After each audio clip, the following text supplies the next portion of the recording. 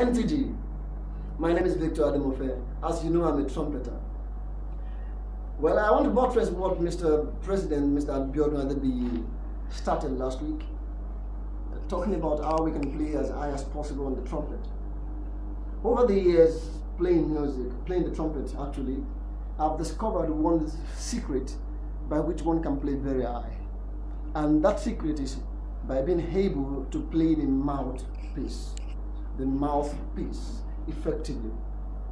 The mouthpiece is so essential that if you can't play the mouthpiece effectively, one may struggle at achieving the sound that you desire. With the mouthpiece, you can actually achieve any note, any height, and any depth. This is what I mean.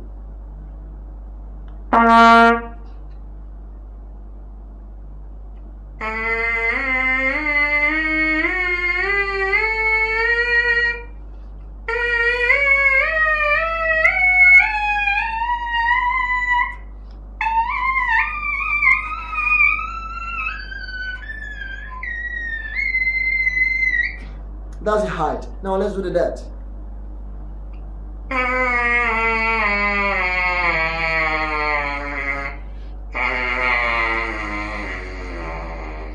Practically, let's see how it works.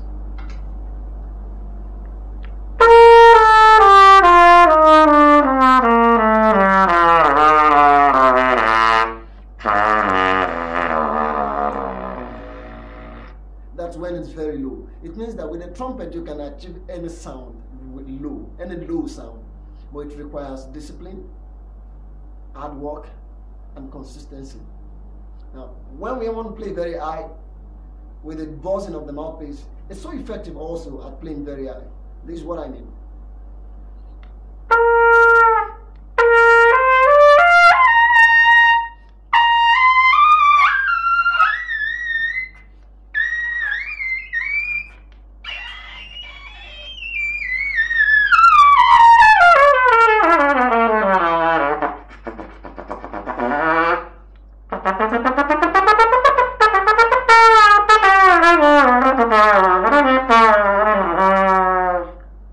All right. Having said all of this, starting up with the mouthpiece may be quite difficult at first at achieving all the notes. I will advise that you start from the key of C. Try to buzz one octave first. When you achieve that, try the next degree, which is the Re. Gradually, you increase day by day, day by day. And a smooth, efficient sound is very important. If you can get it right with the mouthpiece, you will get it right with the sound. With the mouthpiece, you should be able to do anything. For example, with the mouthpiece, I can also dualize what I'm playing. For example, harmonize what you do. But it's not a topic for today. It means that the mouthpiece is what we should focus on. When the mouthpiece is beautifully played, your sound is richer. Your sound is fatter. Your sound is round. Your sound is effective. You can diversify your sound. You can have all sorts of stuffs. Don't forget that mouthpiece is essential.